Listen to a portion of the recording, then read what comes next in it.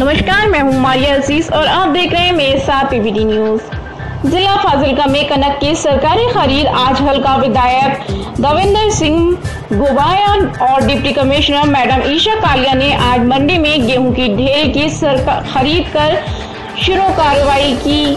कनक की खरीद शुरू करते हुए आरती सुंदर सिंह, पुत्र कृपाल सिंह द्वारा किसान बाबा पाल, पुत्र दर्शन सिंह, गाँव लालो वाले की डेयरी से कनक की खरीद शुरू की गई। इस डी की खरीद एजेंसी पंजाब एग्रो ने की। बीती शाम तक 300 मीट्रिक टन कनक की आम आमद फाजिलका में हो चुकी है।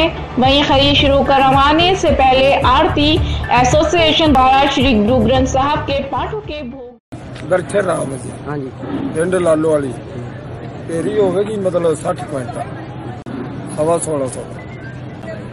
1600 ਹੈਲੋ। ਖੁਸ਼ ਆ ਕੇ ਆਪਾਂ ਨਾਰਾਜ਼ ਕਾਹਦਾ ਹੋਣਾ? ਹਾਂਜੀ? ਆ ਆਪਾਂ ਕਾਹਦਾ ਨਾਰਾਜ਼ ਹੋਣਾ? ਖੁਸ਼ ਆ। ਤੇ ਮੰਡੀ ਦੇ ਪ੍ਰਬੰਧ ਕਿਵੇਂ ਨੇ ਜੀ ਪ੍ਰਸ਼ਾਸਨ ਵੱਲੋਂ? ਬਹੁਤ ਵਧੀਆ ਨੇ।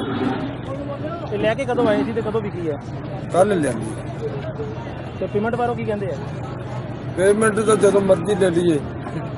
ਭਾਵੇਂ ਅੱਜ ਲੈ ਲਾ ਤਾਂ ਵੀ ਦੇ ਦੇਣਗੇ।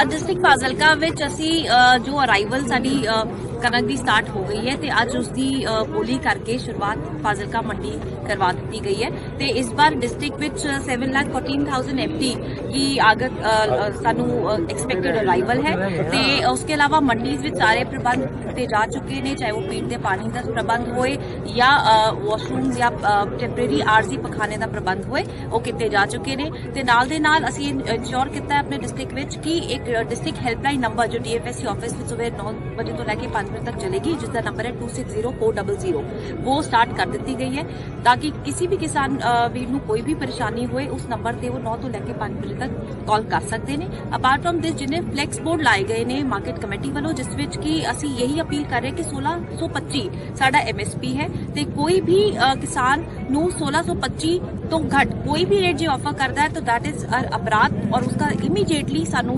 ਕੰਪਲੇਂਟ ਸੈਲ ਤੇ ਉਹ ਕੰਪਲੇਂਟ ਕਰ ਸਕਦੇ ਨੇ।